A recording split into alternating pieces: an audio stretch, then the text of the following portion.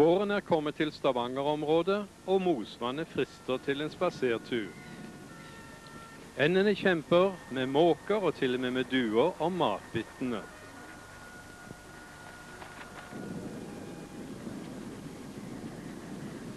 De spaserende må dele plassen med syklister og med joggere.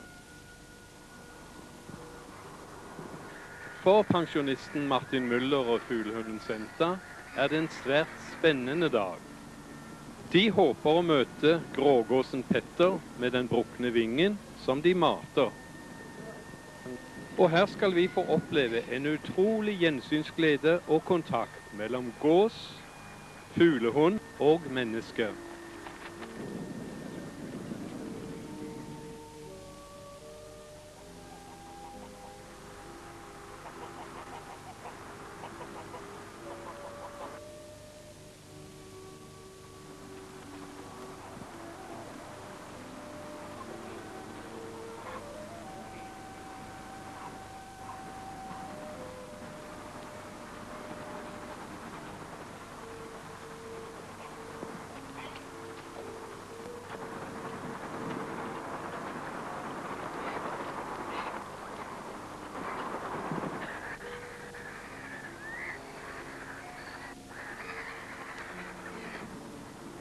Mens andre ender, gjess og svaner forblir i det våte element etter mating, lar Petter seg til og med overtale til en spasertur Posvannet rundt.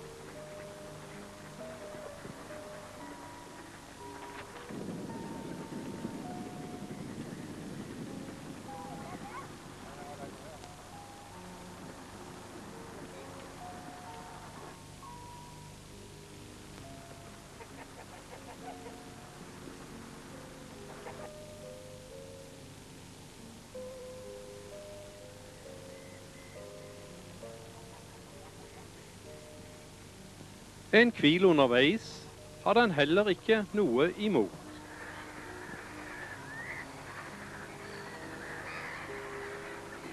Men avskjedsklappingen forstår den ikke.